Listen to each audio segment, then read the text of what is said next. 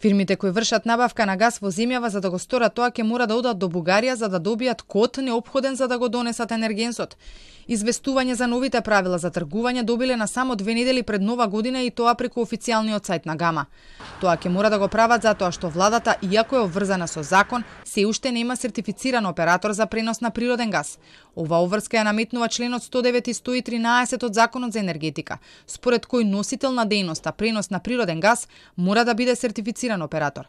Но пред да биде формирано ова тело, државата склучи договор со Бугарија за проширување на капацитетот на интерконекторот кај Жидилово. За да се формира сертифициран оператор во Македонија, мора да се заврши процесот на спојување на Неригама. Откако ќе се склучи тоа, Европскиот систем оператор треба да му даде дозвола за издавање на потребни кодови за македонските фирми, да можат да го донесат гасот во земјава и тоа да не го прават преку Бугарија.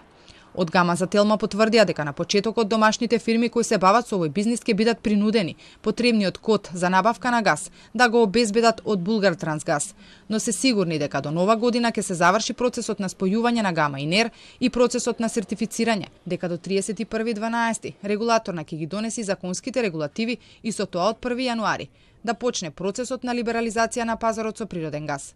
Сепак со ова се отвара прашањето, дали фирмите кои се дел од овој бизнис ќе имаат доволно простор и време да се запознаат со новите правила на игра и да тргуваат. Со Законот за енергетика па кој се донесе во 2018 година, односно пред 4 години, се наметна врската да државата да формира сертифициран оператор за пренос на природен газ, но и да се донесат подзаконските акти за тргување на овој пазар.